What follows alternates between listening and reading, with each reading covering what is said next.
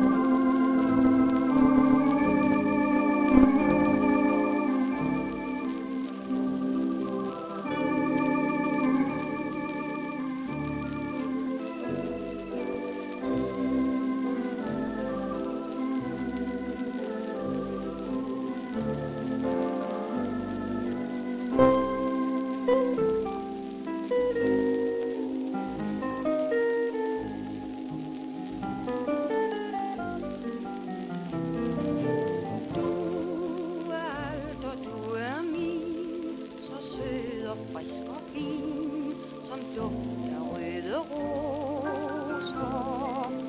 At du er mit ideal, har jeg da tit fortalt, med kærlighedens gloser. Jeg vil følge hjertets vej, det slipper aldrig dig, når du er trængt og ind. Glæd